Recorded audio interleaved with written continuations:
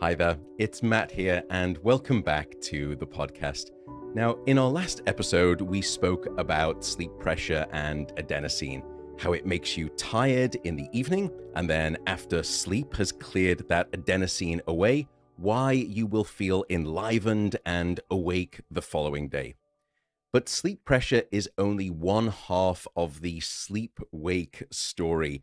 There is a second force at play in the sleep wake negotiation, as it were. It's called your circadian rhythm, or in plain speak, your 24 hour body clock. Well, it's actually the wrong word for it. It's not a body clock, as we'll discover, it's a brain clock, as it turns out. Now, your 24 hour clock will drum out a daily and a nightly rhythm. And the tick tock rhythm of your clock will make you feel sleepy at night and then makes you feel alert during the day. Now, although you have circadian clocks in almost every cell of your body, as I mentioned, there is a master clock that sits deep at the center of your brain you can think of it almost like Lord of the Rings one ring to rule them all. Well, here there is one clock to rule them all, and that central brain clock regulates all of the other body clocks. Now, if you were to give your circadian rhythm a personality trait, it would be labeled as a creature of habit. It never stops ticking out its rising and falling rhythm, day after day, night after night. For diurnal species that are active during the day, like us human beings, the circadian rhythm will start drumming out its loud, activating beat just before you wake up in the morning. And that drum beat just gets louder and stronger into the mid morning hours and into the early afternoon. And this is when you will hit your peak alertness, your peak performance on several different measures that we can assess in the laboratory. We'll come back to what happens in the middle of the afternoon in just a second. But by the end of the evening, the circadian tick tock beat begins to slow down. And as it tips into its awesome downswing, so too will drop your alertness. In other words, you're going to start feeling sleepy. And the drumbeat of your circadian rhythm keeps slowing down throughout your night of sleep and it will hit its lowest point in the middle of your sleep phase. And once it hits that low point, what we call the nadir, it will stay low for a few hours and then the beat picks back up and it starts to rise just before you naturally wish to wake up, should you allow yourself to wake up without an alarm clock. And then it starts all over again, rising in its loud beat to create the breath of daytime wakefulness and dropping to create the calm exhale of sleep at night. So, arising and dropping, the waking inhale, the sleeping exhale, inhale and exhale. And if you were to sort of draw out this circadian rhythm, it would look like a sinusoidal wave, like a rising mountain peak of wakefulness, and then a descending restful valley of sleep. Your circadian rhythm, by the way, knows nothing about your levels of adenosine sleep pressure. And your levels of sleep pressure know nothing about your circadian rhythm.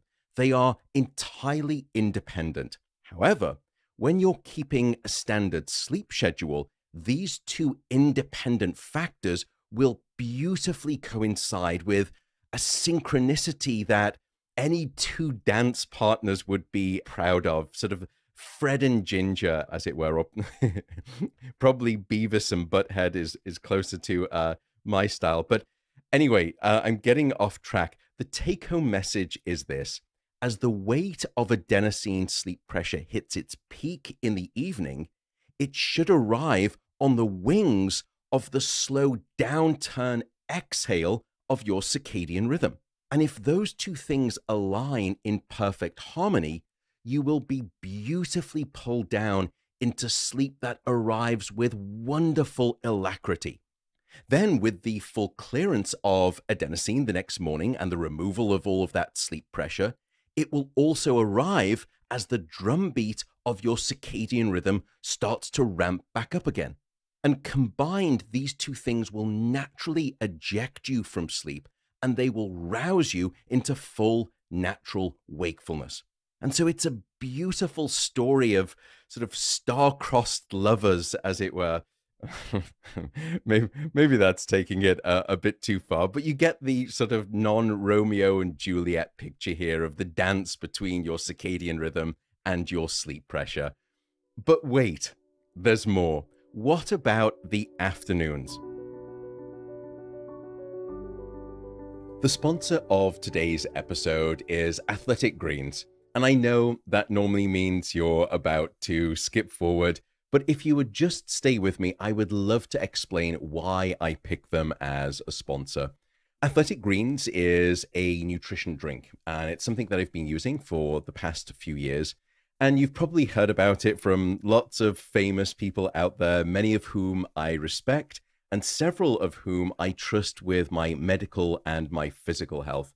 And I use it because it provides the necessary daily vitamins, minerals, and biotics required, plus also a very healthy dose of antioxidants, which, by the way, I will soon speak about in an upcoming episode about sleep and supplements. The final reason I like Athletic Greens is because of its founder and CEO, and that is Chris Ashenden. He is a remarkable individual and he has created the company from the ground up. He's also just a really genuine bloke who's trying to improve people's health with athletic greens.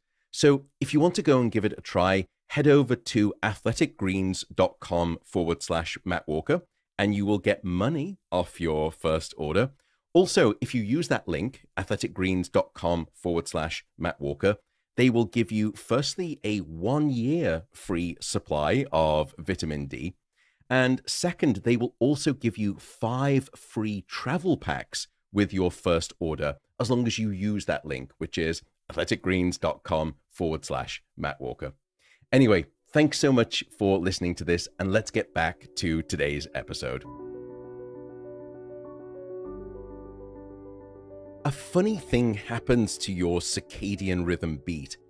After the peak late morning and into the early afternoon, your circadian rhythm oddly slows down for a few hours. And I'm sure you've experienced this. It's sort of people around the meeting table after lunch at work, and all of a sudden you start to see those really ugly head drops, those sort of, you know, the jaw goes into the chest, and all of a sudden the head snaps back up again. I mean, it's a dead giveaway of what's happening here. It's not that these people with their head bobs are listening to good music. Rather, they are falling prey to what we've discovered is a pre programmed, hardwired drop in your alertness in the afternoon. And for most of us, it happens somewhere between the 1 to 4 p.m. mark. As I mentioned, it happens after lunch, but counter to popular myth, it has nothing to do with you eating lunch. I can have you skip your lunch and it will still happen. And indeed, if I were to place electrodes on your head, I could show you this reliable drop in your brain's physiological alertness that happens each and every afternoon. And what this means is that us humans may not have been designed to sleep in a single bout at night, which is what we call monophasic sleep. Rather, we may have been designed to sleep in two bouts, in other words, one longer bout at night, and then a siesta like nap in the afternoon. Now, don't worry, naps will be treated in an entirely separate episode, and we'll double click and dive deep into naps. But for now, just know that this fading of your alertness in the afternoon is nothing to necessarily be worried about. You're not to blame. It's natural. It's all part of your circadian rhythm. So that is your circadian rhythm, briefly explained, which combined with sleep pressure will accurately explain when you want to be awake and when you wish to be asleep. So, why then are we all a little different in our timing? Why is it that some people will cash it out in the evening, you know, very early on, and they'll be in bed, you know, by 8 or 9 p.m. in the evening? And why is it that other people don't wish to get into bed and fall asleep through until the wee hours of the morning. This is what we call your chronotype. And that will be the topic of the next several episodes in this podcast series. Instead, I will simply now sign off. I will say good night and thank you so much again for listening to the podcasts. As I mentioned before in the previous episode, if there's any advice that you have for how I can be doing this better, please just say hello and drop me a message on Instagram. I am there as the handle Dr. Matt Walker, doctor with a DR. And I just want to make clear that I'm not a medical doctor and none of the content in this podcast should be considered as medical advice in any way, shape, or form, and nor prescriptive in any way. Thanks very much, and I'll see you in the next episode.